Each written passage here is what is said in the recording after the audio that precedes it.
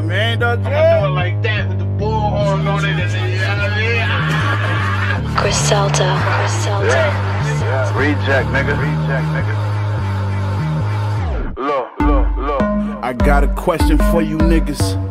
What would you do to get justice for your niggas when they brutally killing and arresting all your niggas? You black, then you a thug. That's the perception of your niggas, cause they figure you black and you listen to rap, so you must carry a gat. People, we under attack, not just in my hood, no, it's all over the map. Soon as we start fighting back, they say we overreact. See, they want you to stay calm, now they don't want you to snap. They wanna keep you in line with how they want you to act. See, they want you to relax, want you to go spend your racks on their new iPhone 6 Plus and buy all of the apps. Rarely supporting the businesses that's owned by the blacks, but go to 7 Eleven happily buying their snacks. People working these fucking doubles and breaking their backs so they can run the facility and buy a car with their taxes. Can't even rock a hoodie, stereotypes attached. Can't even walk to the store without police is dispatched. See, it's a trap. It's social media whack. I mean, we all got opinions, but I'ma deal with the facts. But is you down to go riot?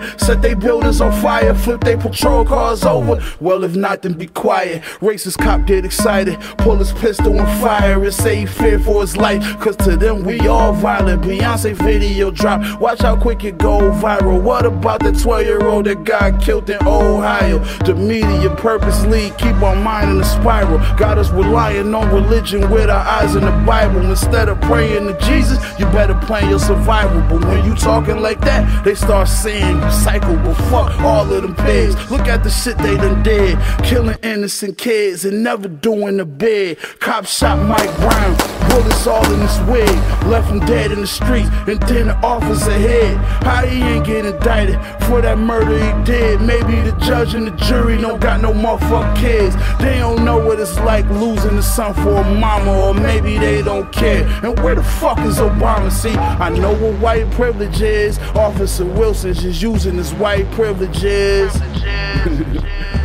And the irony on Black Friday is black people spend their hard earned money in white businesses. Little slaves, nigga. Yeah, yeah. We in line every Saturday for the new J's, nigga.